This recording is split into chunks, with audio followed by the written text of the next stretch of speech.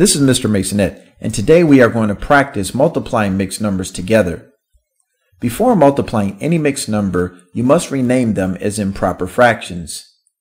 The first thing I like to do when renaming a mixed number into an improper fraction is to write the denominators exactly as they are. The denominators never change when renaming a mixed number into an improper fraction.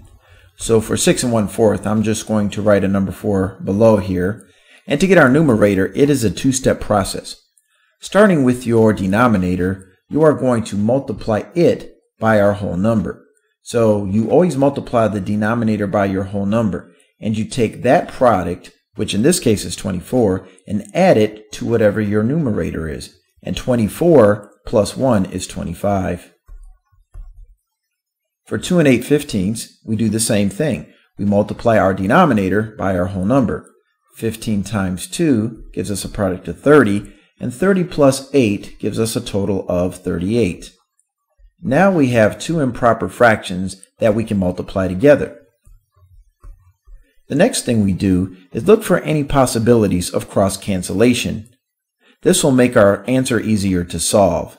We do this by looking for a common factor shared by one number at the top and one number at the bottom. For example, I would say that we can cancel out 25 and 15 because they share a common factor of the number 5. Now the number 5 should not be written anywhere, that should be kept in your head mentally.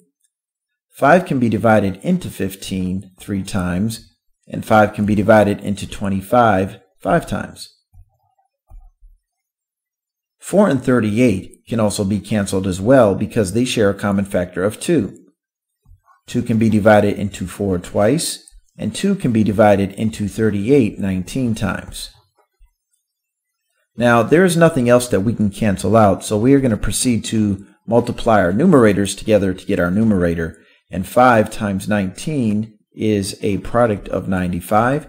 And for our denominator, 2 times 3 gives us a product of 6. Now we have an answer that is an improper fraction, and we must simplify this by changing it back into a mixed number. And we do this by taking the numerator and dividing it by our denominator. So we're going to take 95 and divide it by the number 6. 6 can be divided into 9 one time. One group of 6 is 6. The difference between 9 and 6 is 3. And we're going to bring down our next digit, which is a 5, giving us the number 35. 6 can go into 35 5 times. And 5 times 6 is 30. And 35 take away 30 is 5. Now we have no other digits to bring down, so 5 is our remainder. So to express our answer, we're going to take our whole number here at the top, 15, and write a fraction bar next to it. Our remainder, which is 5, will always be our numerator, and the divisor will always be your denominator and check to see if you have simplified it all the way and 5 6 cannot be reduced any further. So 15 and 5 6 is our answer.